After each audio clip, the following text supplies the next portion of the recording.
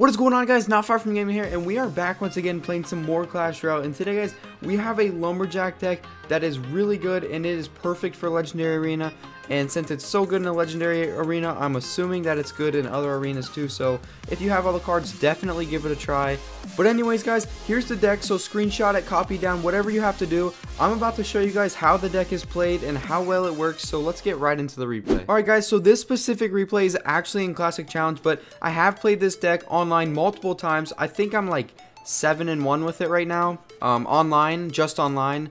Um, and then we have tons of Classic Challenge games we could watch, but we got to play a live match after this, so we don't really have time for him, but he's going to go ahead and counter really well with the uh, Skeleton Army. I'm not too sure why I zapped, honestly. Kind of a waste, in my opinion.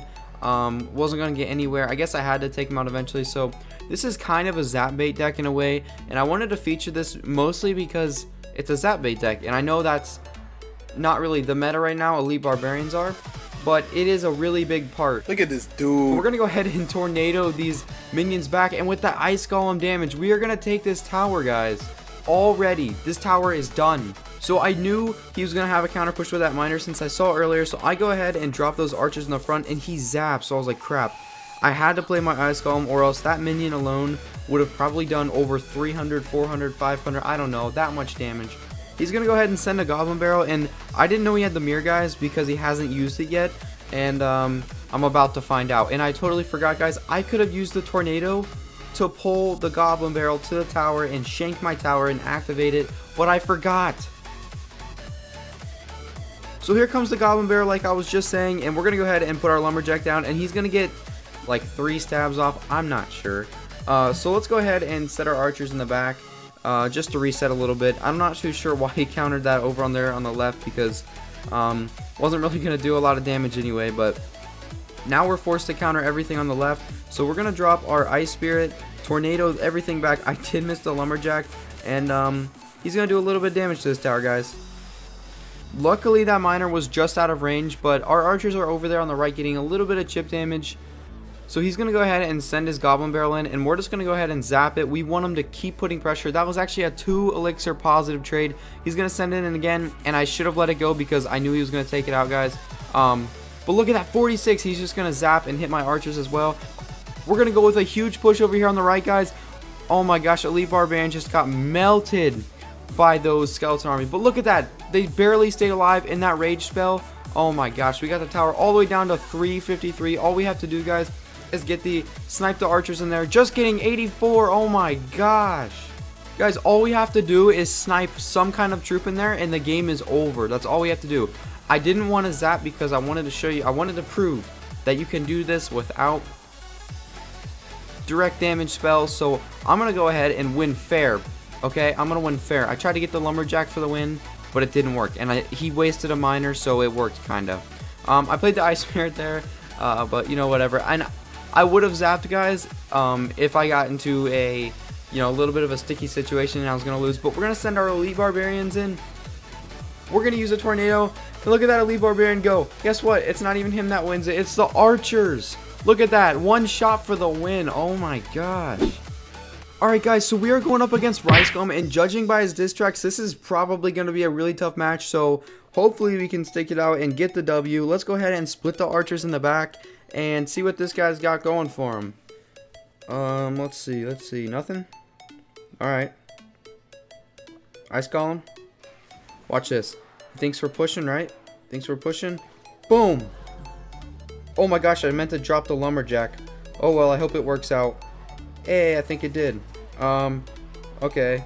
Maybe. Maybe it did. I'm not too sure. Let's go ahead and go Archers right here. Um, and Ice Golem.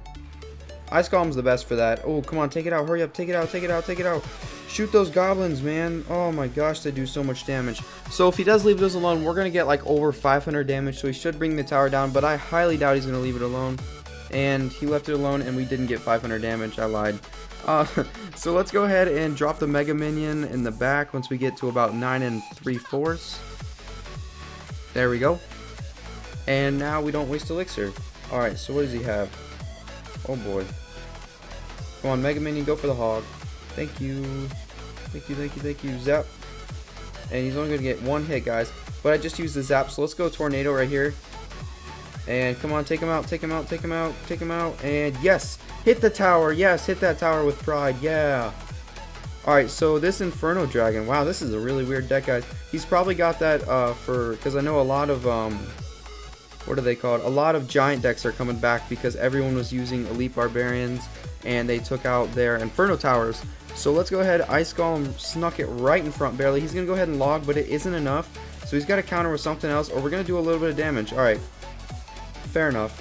Let's go like this, and we should be able to take this out before it gets to the tower. And we're going to go ahead and throw that Lumberjack down and get ready to zap. Oh, I wanted the Lumberjack to go in front, but it's alright. Let's go ahead and zap anyway, guys. Let's go ahead and get one hit off, and that Mega Minion is raged up. Let's go like this, uh, like this. Let's freeze back here, even though we're only going to freeze like one of them.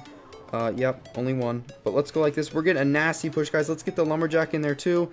And we got to get ready to zap because we know that Skeleton Army is coming. Where's it at? There it is. Zap. Ice Golem Explosion's not going to do it, though, guys. We are going to get to the tower and do so much damage. And this tower is so close to going down, guys. We can almost zap it away. Uh, actually, I think we can zap it away. I leveled up my zap to 11, so that is awesome. Uh, let's go like this. Come on, get those, get those. Boom. Oh my gosh, take them out. Thank you. Nine seconds, guys. We're going to go ahead and zap and take that tower out, and there is nothing he can do. And I just realized I could have um, easily done the tornado and pull his goblin barrel to my tower. I totally forgot about that. But anyways, guys, the opponent just left the match. We made him rage. So here's the deck once again, guys, if you missed it at the beginning for some reason. And I hope you guys enjoyed. If you are new, definitely subscribe, hit that like button, and I will see you guys in the next one. Peace.